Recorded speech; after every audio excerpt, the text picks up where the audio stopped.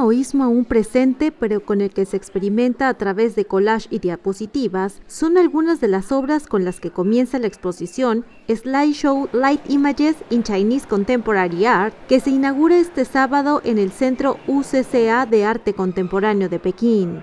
La muestra presenta cómo quienes crecieron en el periodo de reforma y apertura, iniciado en 1978, tuvieron por fin la oportunidad de volver a las academias de arte, anteriormente cerradas, además de disponer de nuevos medios para expresarse, sean proyectores o diapositivas, para reflejar la vida diaria o experimentar con colores simplificados o fuertemente procesados. En la década de 1980, muchas ideas llegaron de pronto a China tras décadas de aislamiento maoísta, lo que dio lugar a una generación de artistas que modelaron la cultura visual del gigante asiático en las siguientes décadas.